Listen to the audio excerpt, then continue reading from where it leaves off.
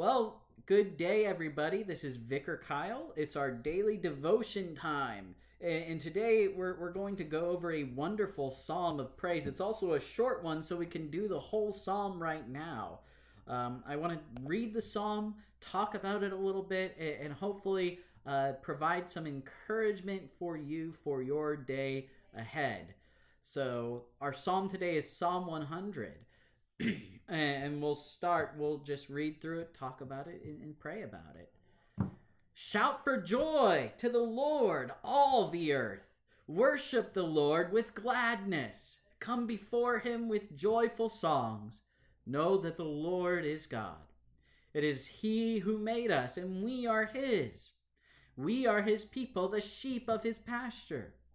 Enter his gates with thanksgiving, and his courts with praise. Give thanks to him and praise his name, for the Lord is good, and his love endures forever.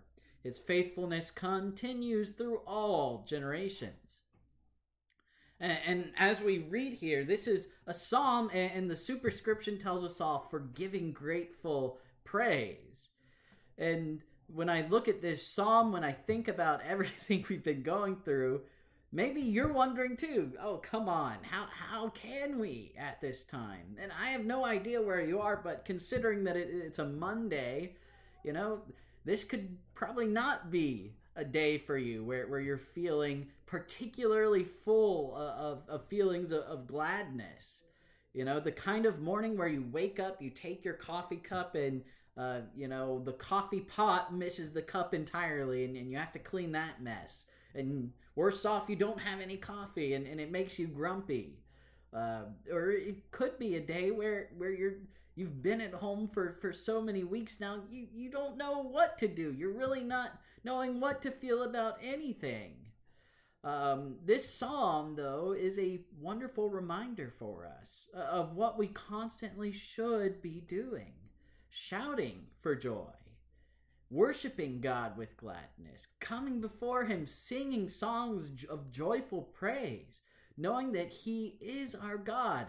And I love that the image of a sheep out to pasture kind of comes up in this psalm because that's what we talked about uh, on Sunday, right? We talked about. Uh, well, we read about Jesus as the good shepherd, and it really didn't come up in our sermon, but in a way, uh, it did when, when we read about the disciples in Acts, how, how they praised God every day. That's them living out the, this psalm, and uh, if you want to look at it that way. So, why should we be joyful? You know, especially on a Monday where maybe everything hasn't gone so great. It really comes down to this last verse. For the Lord is good, and his love endures forever. His faithfulness continues through all generations. Where do we see that love?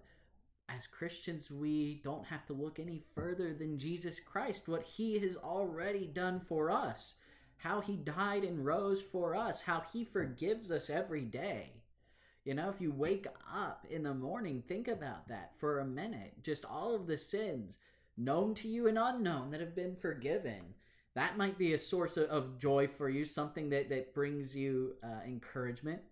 Knowing, too, that, that even as our, our shepherd, our good shepherd, Jesus is leading us. And sometimes it's not always a, a pleasant place that we're being led. The whole point of, of Psalm 23 isn't saying that life is always going to be green pastures uh, with, with uh, still waters.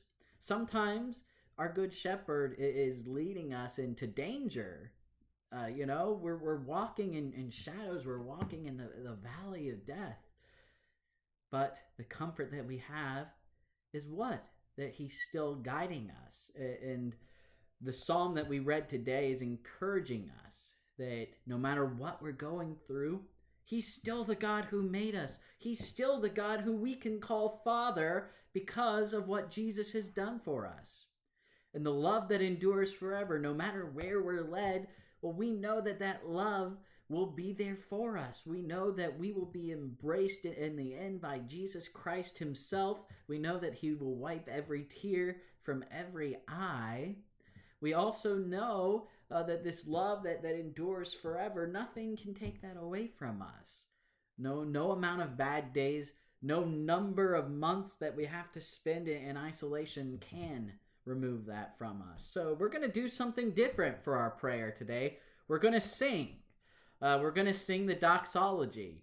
Uh, this doxology is one that, that we probably all know well. It's to the tune of the hundredth. It's the doxology we probably all grew up singing. So we'll, just sing it today, uh, knowing that that our songs of praise, in a way, are also prayers to God. All songs of praise are prayers to God, and, and so just think about uh, maybe in your life where, where you haven't been able to praise God because of some circumstance and how He still enables you to, to sing these words joyfully because of what He's done for you. Praise God from whom all blessings